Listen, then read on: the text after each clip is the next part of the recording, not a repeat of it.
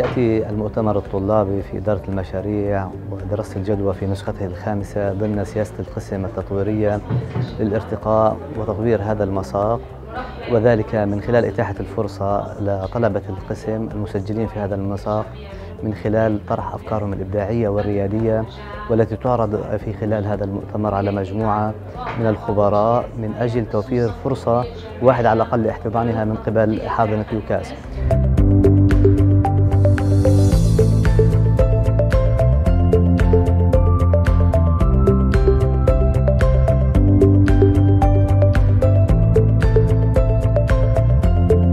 بالنسبة لفكرة المشروع كانت هي عبارة عن متجر متخصص في استيراد الأجهزة الذكية المجددة من الخارج من دول أوروبا وبيعها وتسويقها في قطاع غزة بالإضافة لخدمة الصيانة الموبايلات وبيع الإكسسوارات.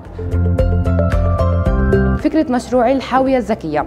فكرة المشروع بتحكي إنه إحنا حنصمم آه، سلة مهملات ذكية بتكافئ كل شخص برمي القمامة داخل هذه السلة بخدمة إنترنت مجاني أو خدمة شحن جوال.